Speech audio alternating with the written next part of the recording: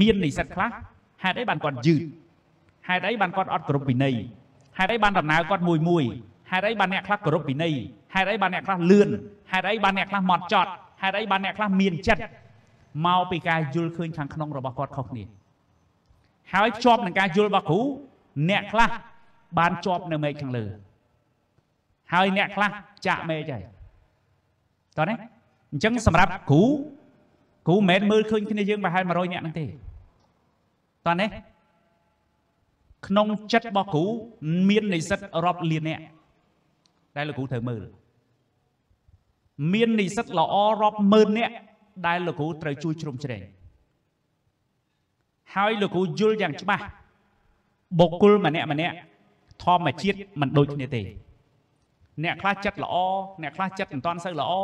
អ្នកខ្លះចិត្តនឹងរៀងជាប់ប្រឡាក់ច្រើន អញ្ចឹងឲ្យគាត់រស់នៅរាល់ថ្ងៃប្រចាំជីវិតហ្នឹងតាមសមាជីវោរបស់គាត់សិនទៅបងប្អូនឃើញអ្នកខ្លះរងថ្ងៃកំពុងផឹកពីលីអាវ៉ាសែមានតែឃើញមានតែលឺហ៎មានតែលឺអត់ហើយពេលដែលយើងលឺយើងឃើញយើងជួបក្រុមអញ្ចឹងមានខ្លួនយើងនៅក្នុងហ្នឹងឯងមានទេដោយសារយើងបានលៀងខ្លួនយើងផុតហើយបានអត់ឃើញនោះតើណាអមួយទៀត មានឃើញក្រុមខ្លះកំពុងតែ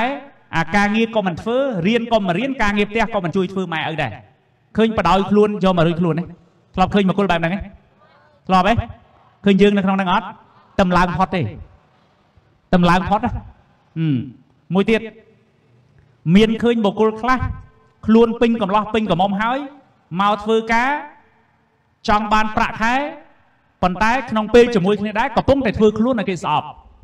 មានទេមានឃើញយ៉ាងអត់ហើយមានឃើញយើងទេឲ្យតែឡើងផុតដែរហ្នឹងលុយទេបាទមានអ្នកខ្លះទៀតចង់មានចង់បានប៉ុន្តែមិនសូវប្រឹងទេអារឿងដែលត្រូវប្រឹងមិនប្រឹងទេបែរជាប្រឹងលួចប្រឹងឈ្នានីសប្រឹងនិយាយអាក្រក់អំពីអ្នកដតីដើម្បីយកគុណសម្បត្តិខ្លួនឯងអាហ្នឹងក៏មិនចម្រើនដែរធ្លាប់ឃើញមនុស្សខ្លះអញ្ចឹងហ៎មុខដូចយើងហ៎ ឆ្លោះកញ្ចក់មើលមុខដូចយើងអត់អត់ទេណាអញ្ចឹងផ្ទះដៃយកបោសាទោបាទលោកគ្រូចង់ផ្ដាំផ្ញើឲ្យយើងចុងក្រោយអញ្ចេះសភៅសិក្ខាបទមនុស្សល្អនេះអានេះសភៅថ្មីលោកគ្រូឆាត់ជិតតំយកឲ្យគ្រូតែសភៅនេះគឺនៅជាមួយលោកគ្រូលោកគ្រូនៅជាមួយនឹងលោកគ្រូចង់និយាយថាគ្រូរៀនណាសភៅនេះគឺលោកគ្រូបុត្រសវងគាត់អ្នកចងក្រង គ្រូអានសភៅនេះគ្រូជួបសភៅនេះតាំងពីឆ្នាំ2002មកដល់ឥឡូវនេះណា8 10ឆ្នាំហើយអញ្ចឹងបើនិយាយពីដំណើរនៃការកសាងខ្លួនឲ្យคล้ายទៅជាមនុស្សល្អចប់ពីបាក់ដប់មកលោកគ្រូលោកគ្រូរៀនអាហ្នឹង8 10ឆ្នាំហើយហើយក្នុងនេះមានរឿងល្អល្អច្រើនណាគ្រូចង់ផ្ដាំគ្នាយើងចេះខ្លួនយើងណាយើងប្រឹងមកយប់ឲ្យល្អមិនល្អទេមែនទេ យើងប្រឹងមួយថ្ងៃឲ្យល្អវាមិនល្អទេលោកគ្រូប្រឹងជួយតម្រង់យើងរៀងរាល់ថ្ងៃច័ន្ទក៏ពីមួយថ្ងៃច័ន្ទទៅមួយថ្ងៃច័ន្ទណានៅមានចំណុចដែលគ្នាយើងត្រូវកែលម្អដើម្បីឈ្មោះទៅរកដំណើររបស់យើងឲ្យកាន់តែល្អទៀតមែនអត់ឥឡូវនារៀងយកស្លឹកឈើហ្នឹងបងឯងទៅជោគជោគខ្សាច់មួយស្លឹកឈើហ្នឹងមកជោគឲ្យពេញពេញប្រហែលជោគប៉ុណ្ណឹង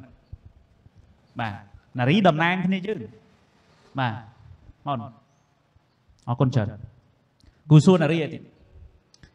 ក្របខ្សាច់នៅក្នុងនឹងច្រើនទេក្របខ្សាច់នៅលើស្លឹកឈើនឹងច្រើនអត់ច្រើនគ្រូសួរគ្នាយើងមួយទៀត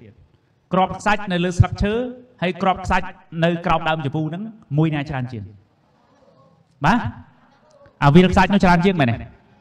នេះគ្រូចង់បញ្ជាក់គ្នាយើងចេះចំណេះដឹងដែលយើងធ្លាប់រៀនចេះដឹងអាចមានប៉ុណ្ណឹងក្នុងខ្លួនយើងរាល់ថ្ងៃអាចមានប្រប៉ុន